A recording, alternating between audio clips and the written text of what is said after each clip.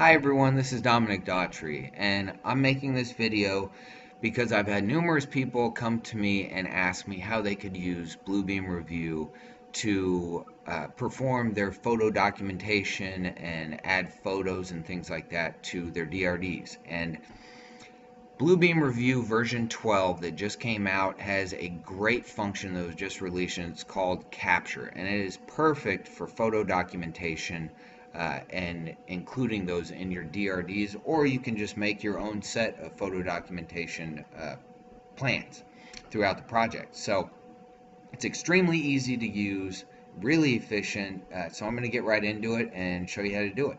So as you can see right now I've got my Cal State Channel Islands uh, West Hall project DRDs open.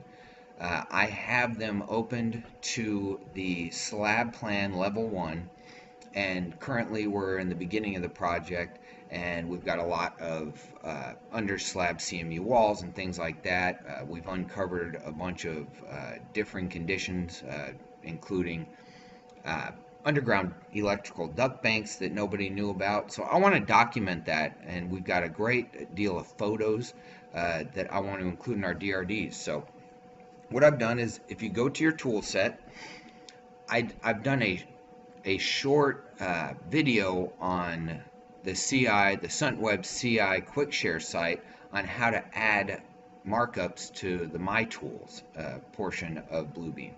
And all I did was I Googled uh, camera icon on Google Images and downloaded an image that looks like a camera and I added it to my, my tools. So I can either click on it here or just press 9 and then all I do is put that markup icon right there. And I'm going to illustrate uh, some of the things that we want to document on this northwestern corner of the project. So as soon as you put down your markup, and just so everybody knows, it doesn't have to be a photo uh, icon of a camera. It can be anything. It can be a text box. It can be a call out. You can add photos to anything in Bluebeam. So all I do is right click on it. I will go down to capture and I will do from file and I will go and input the photos that we taken of that northwestern corner.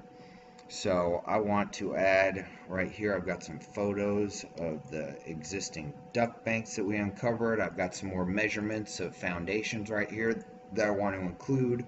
Uh, I'll even put in some of this rebar uh, uh, photography showing that we did it per plans and specs and then press open. And what it's doing right now is it's adding them onto this, uh, this uh, markup.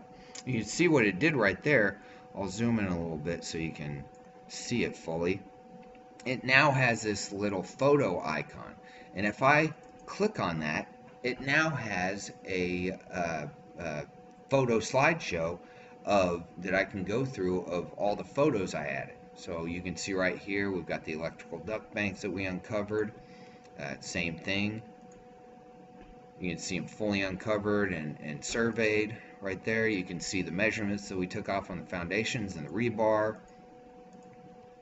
And you can see, you know, uh, you can take documentation before you place concrete, things like that, showing rebar.